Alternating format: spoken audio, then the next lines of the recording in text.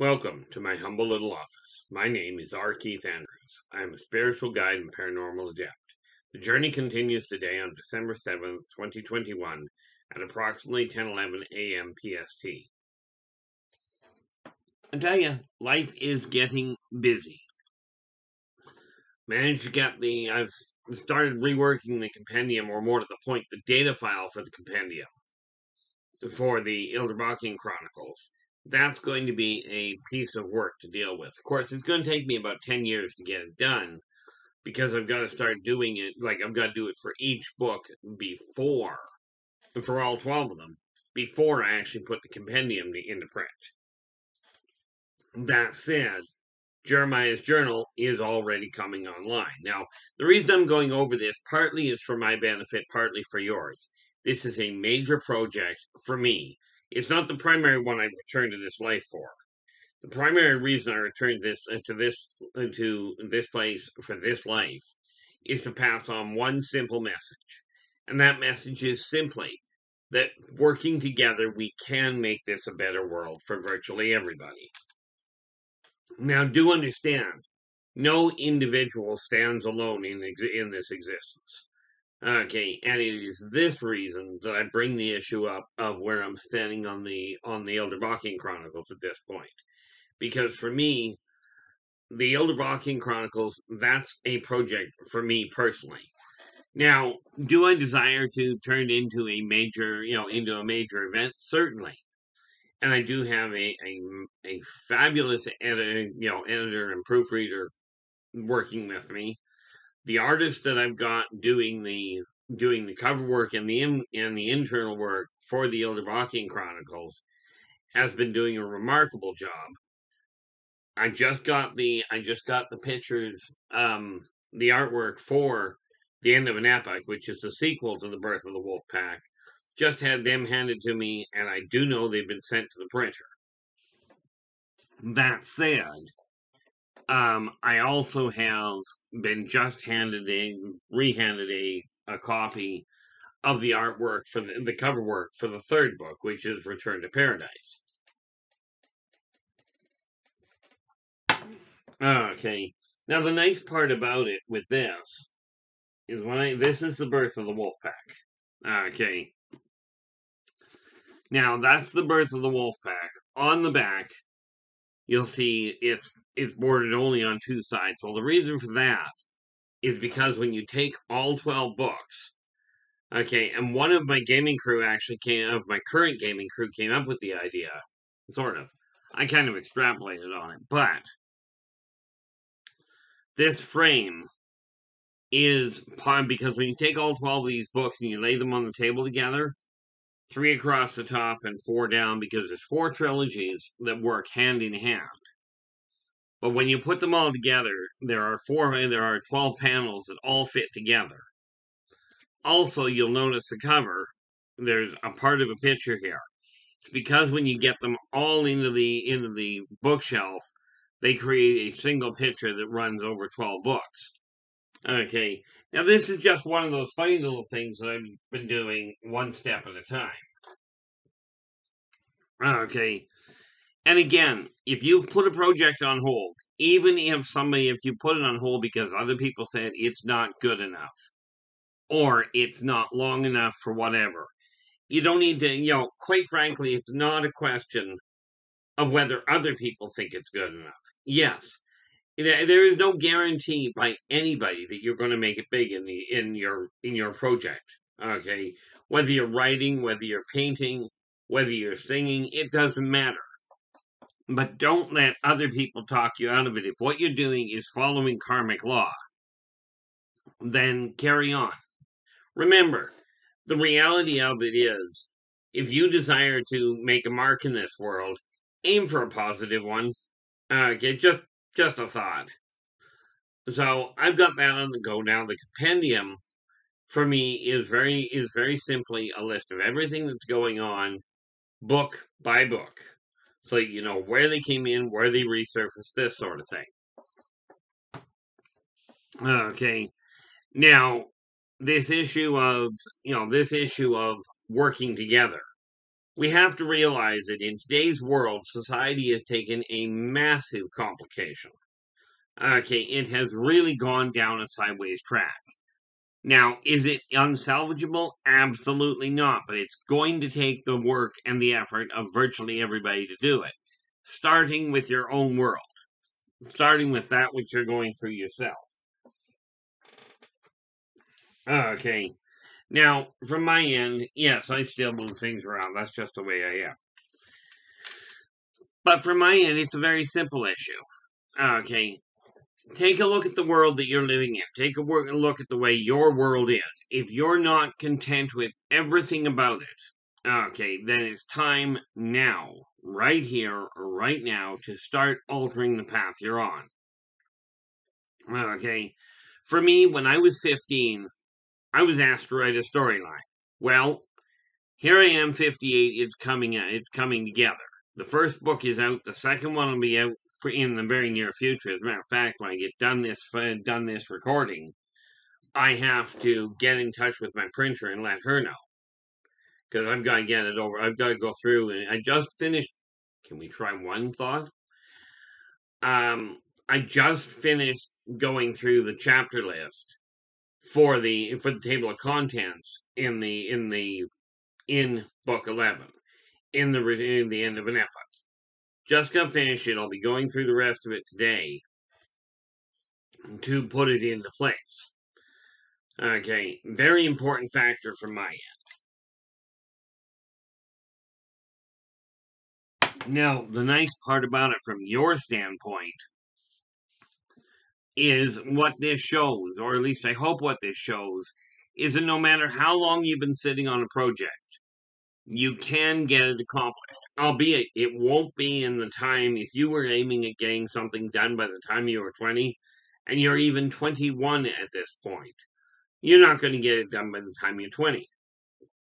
But I had a client that really desired to become a doctor. Only she put it off until she was literally, she talked to me when she was 51. No, when she was 52. By the time she got into into going after a medical, she did actually graduate. Not by the time she was 20, but at 60 years old, she graduated and got her MD. Now, for her, that was a massive deal, and that's why I supported her as much as I could. Not financially, don't even think about it. Don't got that kind of money yet. But I did give her all the encouragement and all the guidance I could to make to help her get through it. Net result, she ended up with a doctor eh, with her MD. Now, before anybody thinks about it, don't even ask what her name is. We're talking 15 years ago. I have no idea.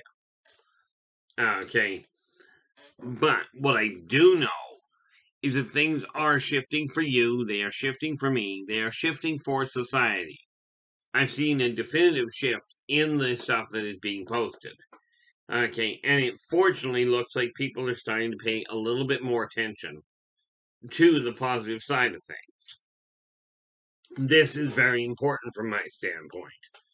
Now, the easiest trick in the book is when you're taking a look at the way your life is going, ask yourself this Are you content with the way your life is right now? I wasn't content with the way that my that the compendium database was set up. So I spent the morning going through that and getting that sorted out. So now when I go back to it, I can go through it and piece it together.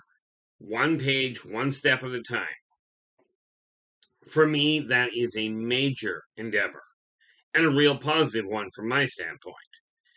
But it's going to take some time to piece it together. That's going to be a long term. The Ilderbockian Chronicles, I broke down into 12 books. Okay.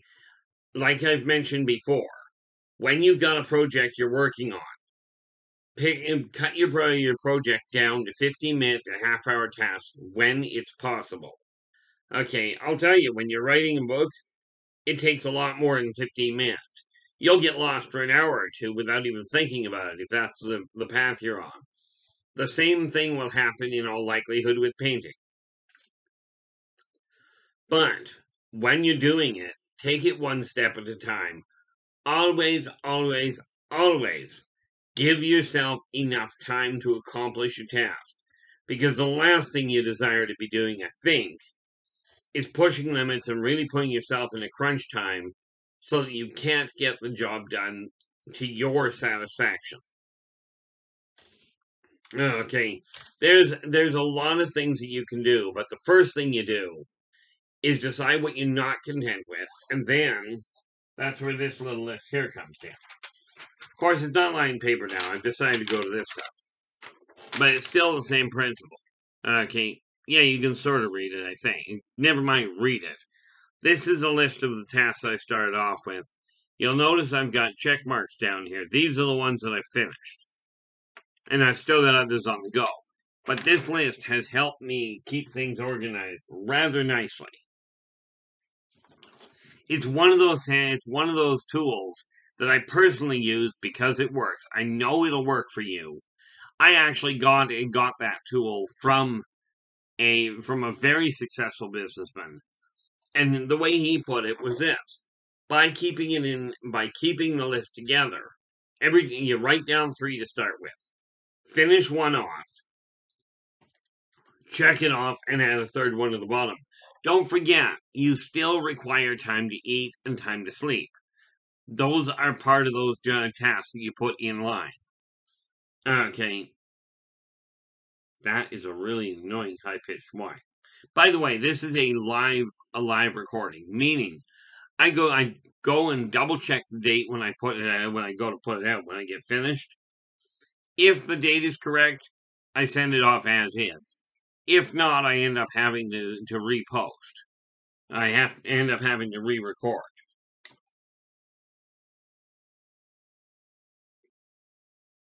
So far, things are working reasonably well. I kind of had to take a look at myself this morning and go, I got a lot of things I'm trying to do. I got caught up, like you, I've got other things I get tied up doing. Today I got tied up uh, playing Skyrim, which I'm sure if you play any video games, you recognize it. The neat part about that particular game is I can actually track it. For me, that's a big plus. Most of the games that are out there I can't, but pick a goal get it listed, and this is why I've got the list here. It makes sure that I only spend a certain amount of time doing things, you know, that so I can get other things accomplished. Now, from your standpoint, if you think of it this way, there is a saying that one man cannot change the world. Well, technically that is correct. But one can, and one person can motivate people to change the world. Now, I don't know about you, but I'm not entirely content with the way the world is going right now. Society has lost a lot of its focus, has lost a lot of its interaction, a lot of its communicative capacity or tendency with each other. Now is the time to change that. I couldn't believe it. My, you know, my son showed me. Nope, scratch that. My son didn't show me, or did he? Yeah, he did. Anyway, apparently they are making, uh, you know, the, the American military apparently is making automated automated soldiers. Okay, you know they are AI, the whole nine yards. To me, this is just an absolute problem. Would that they would make automatic doctors instead. Okay, if we concentrate on the positive side of things, okay, if we concentrate on the idea of what can we do to help each other, to work together. Because the negative energy that, that mankind is generating right now is absolutely causing pain for the for the individual. I call Esau, you call her Earth, or maybe Gaia. Okay. Um, she told me to call her Esau, so that's what I do. Okay. Now, this said, it doesn't matter what name you use it's like many of the races I deal with when I'm dealing with the offworlders, with the UFOs, with ancient races. I may know them by different names than what you know them as. I know for an absolute certainty I know them from different names from what governments know them as. But when you take a look at them, when you take a look at the at the descriptions and what have you, you'll find they, they fit quite nicely. Which brings me to the other little project I've been working with. And that other little project is this, the races of the world. Okay, this one I'm about, I think, almost three quarters done with the with pictures. I've got another artist, an independent artist from the one doing the Ildebakian Chronicles, doing those, and it's working beautifully for me. Okay, now here's the thing with it, where it comes to the people that work with me. Okay, I've always had a problem with the idea that a that somebody such as myself who you know has trouble with the stick man i've always had a problem with people taking you know buying a, a picture okay and they pay for it properly don't get me wrong okay but what they do is they turn around and go here's the you know i'm going to buy the artwork off you and because of that I can do what I will with it, and they do it legally. There's no question there. Now I'm I'm behind, and one of the things I'm going to be catching up on, I'm going to have to wait until 2000 and until 2022 to make a balance with some of this, but I've got to do all the calculations to find out how much I'm behind. But I'm a firm believer with artists, especially if you're writing and you've got an artist doing your cover work or if you're a singer and you've got an artist doing your kind of doing your album work okay the people that are helping with that creative process it is absolutely imperative karmically speaking from my standpoint that they don't get left in the dirt okay yes legally you can pay for the picture and carry on with it absolutely but let's not forget you pay that small amount and then you go on to make money hand over fist with it which is a cute thought. Okay. But it works out really well for you. But for the artists that did the work, and way too many of them get left in the dirt, they do the work, and all they get is this tiny little piece. I'm not inclined to do that, but I know for an absolute certainty right now I'm way behind in what I should be dealing with. So I'm going to be doing an inventory count, see how many how many books I've got. I've already got the percentages worked out okay, the, the bonus is worked out for the money that's been generated. Okay, now there's a reason for that. If I'm making money off of off of my writing, that's fantastic. If I'm making money off of my writing because an artist has helped enhance the writing, then in my opinion, okay, and this is the way that I operate, in my opinion, that artist should still be getting some income you know, some, even if it's just a tiny amount, which is something I'm going to be dealing with. Haven't quite figured out how to get it there, but that's okay. I'll, I'll work that out. In any event, the reality of it is, I have a different way of looking at the world. But the tools I offer are the same tools I personally am putting to use. They're the same philosophies in life that I live by. And because of that, I feel very confident that the tools that I offer will work for you as well. Okay, now here's the thing there are lots of spiritual guides out there that'll tell you you should do this, you should follow this path, you know, use these prayers and what have you. And I kid you not, they tell you you should, but when you talk to them, they don't do it themselves. The tools I offer, I do personally put to use even where it comes to now, where it comes to the consulting side for life, for business, for you know, where it comes to dealing with UFOs, dealing with ghosts, that sort of thing. I had somebody contact me the other day. The other day, apparently they've had a they've had a problem with new with new psychic activity with new. Well, they called it a ghost. I haven't taken a look at it overly yet, but the reality of it is the description that they gave, you know, really did point in the direction of something extra happening. Now, I've had people to send me pictures of lights and go, What is this? Well, sorry, not a photo analyst. I can tell you what it looks like. But normally, if somebody sends me a photograph of a picture of lights, you know, of lights in the sky. I can tell you, yeah, it's lights in the sky. There's something that is not normal to that. But if I don't have a clear picture, I will not be able to tell you if it's real or not, only if it represents something real. Okay, I leave the is it real to somebody else to figure out.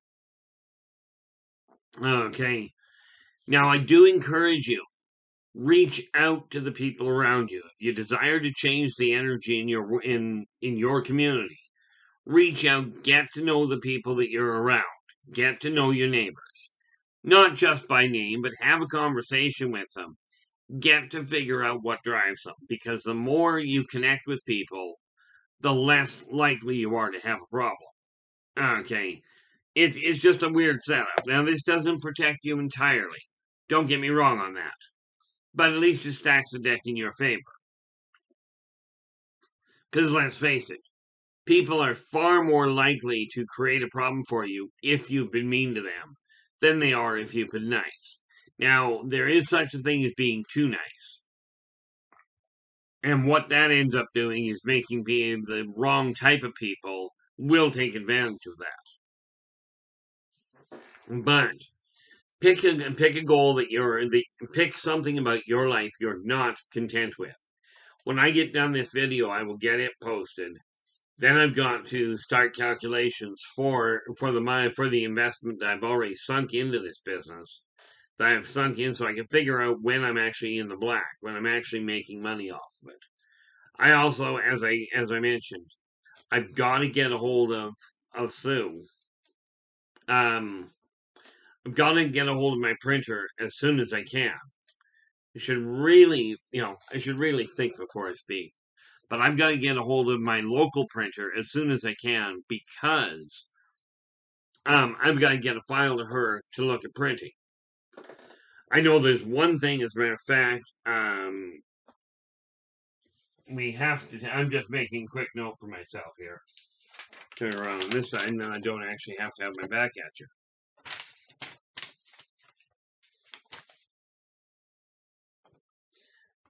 This is just something I've got to remove.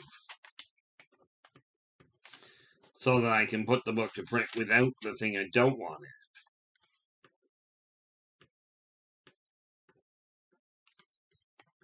But once I get that done, then I package the picture up. I patch and package the the um the PDF up, make the PDF first, and then ship it off to my printer and let her deal with it as best as possible.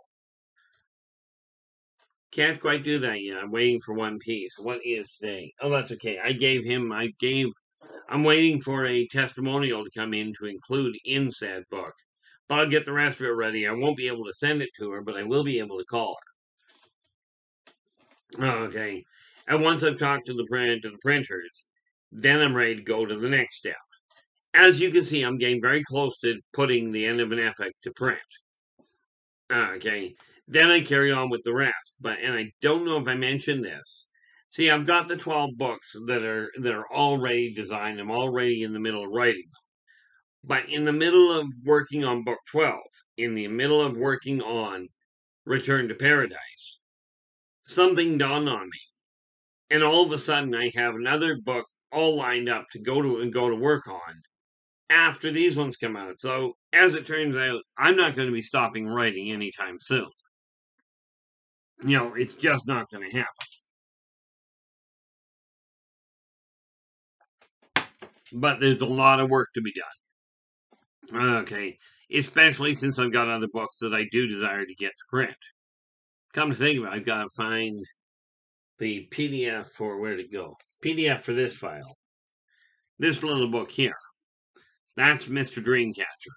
It's a children's book. It's also going to Author House pretty quick to get printed. Okay, and then it too will be available on it'll be available on Amazon, on authorhouse.com, on Barnes and Noble, and on Indigo and Chapters. Now, in all in all fairness, I don't know if you have if you've got access to which ones of those you've got access to. And of course in the european markets i have no clue. Okay. Let's face it i'm a little brain dead in that in that department. But what i do know is this is a project i've been working on for some time and these projects are finally coming to fruition. And i will tell you when you've got a project that you've been working on for a long time, it's nice to see it progress. One step at a time, you know, you're always going one step closer, usually. One step closer to your goal. But this doesn't happen on your own. It will require the input and the assistance of many people on your journey. Do not be afraid to ask for help. Okay, I've had, you know, I remember having one client call me up regarding a metaphysical problem. And when she phoned, she she told me right off the bat she was very Christian and shouldn't have been phoning me because, well, I'm a working psychic. Now, in all fairness, I use the term psychic only because that's the word that most people seem to recognize. I've always classified myself as a spiritual guide. But she phoned up and she apologized. She said she shouldn't have been talking to me, but she couldn't go to her bishop. She was Roman Catholic. And she said if she'd have gone to her bishop, the bishop would have told her all sorts of things about how evil she was, and the problem she didn't feel was her. Well, as it turned out, she was right. She phoned me up, and the racket was phenomenal. Okay, and I asked her what the heck was going on. And She said, Everything in my kitchen is flying around in a circle right now. I says, Yeah, that's a problem. So I explained to her how to. I took a look at what, what the problem was, and I explained to her how to deal with it. But I said, I says, There's only one problem here.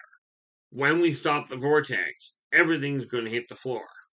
So I hope you don't have anything that's airborne that is, you know, that is irreplaceable, that has a heavy, you know, a real solid emotional connection for you. If you do, try and catch it before you do this. If not, because it'll hit the floor. And bearing in mind, we had a lot of China in the air. Okay. And I told her, I says, the second we close it, it's going to hit the floor. And so she said, go ahead. So I explained to her how to do it and walked her through. And we shut the vortex down. Well, Sure enough, everything that was flying around in circles in the room hit the floor. Well, China does not handle a seven foot drop. Not well, anyway. But we did close the gate for her. Okay. And this is what I mean by we all travel different paths. You may be a phenomenal organizer. Maybe you're an accountant that is absolutely instinctive and right on the money. Okay everybody has a strength, everybody has a weakness. There will always be somebody better than you, and there will always be somebody more challenged. So, what I'm encouraging you to do is really take a look at your life, what you're not content with, and start altering that. Because if all of us get together and alter those little pockets of energy, as in you alter what's going on in your life, I alter what's going on in mine, it will create an overall change. Okay, if you want to see how that works in in visual context, you can go back with take a look at dominoes. You push one domino over, and it will knock over all of if they're set up right. Okay, take a whole pile of matches, of the old wood matches, stick them into a you stick them into a ball of plasticine, a ball of of styrofoam, and then you light them. You stick them in close because you're only going to light one.